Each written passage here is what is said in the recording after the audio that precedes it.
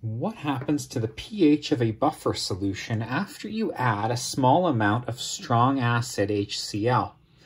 Well, because you're adding an acid, the pH is going to go down, but not by as much as you might think, especially considering it's a strong acid, because buffers do resist changes in pH. Now, the equation we use to calculate the pH of buffers is usually the Henderson-Hasselbalch equation, pH equals pKa plus the log of base over acid.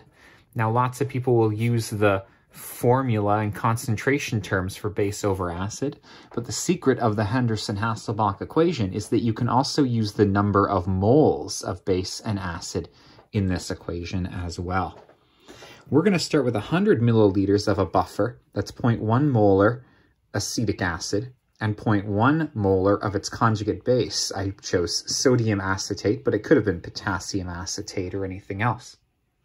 Now, acetic acid has a pKa of 4.75, 4.76 is sometimes listed. And we are going to need to know the number of moles of base and acid.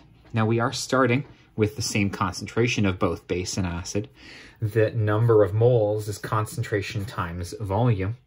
The concentration is 0.1 moles per liter, and we have 0.1 liters of it as well, which means that we're starting with 0.01 moles of both base and acid.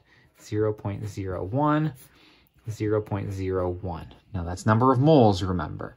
Now here comes the change that we're about to make when we add HCl.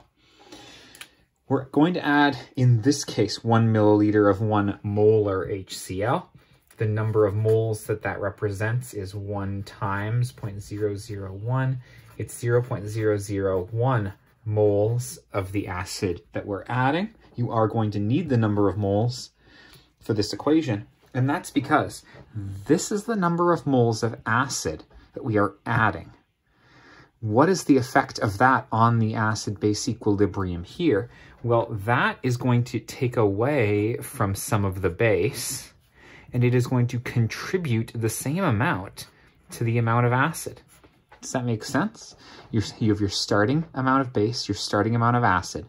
And when you add some strong acid, you take away from the base because you're neutralizing it, and you're creating the conjugate acid in the process. So the base concentration or number of moles goes down, while the acid concentration or number of moles goes up. So how much is this pH perturbed by? Well, by the way, because I started with the same concentration of acid and base when I started, before I added the HCl, my pH equaled the pKa. It was 4.75. And here I'm actually going to need my calculator. I've got to do 0 0.009 over 0 0.011. Let's go see what happens when I do that. 0.009 divided by 0.011 gives me 0.8. And I'm going to take the logarithm of that.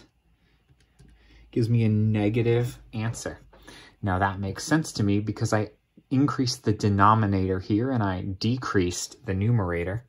So my pH is 4.75 minus 0.09. I'm just rounding that to two decimal places. And when I combine those two terms, I end up with 4.66. So despite the fact that I added an admittedly small amount of a strong acid, my pH didn't even change by 0.1. The effect of adding a strong acid to a buffer is usually that the pH goes down because you are adding acid, but not by much. Of course, if you add enough strong acid, you'll overwhelm the buffer entirely. And then at some point, you might not even have the conjugate base in solution, and then you have a buffer at all. But as long as you have some of both, the solution should be a little bit resistant to pH changes. Thanks for being with me, and best of luck.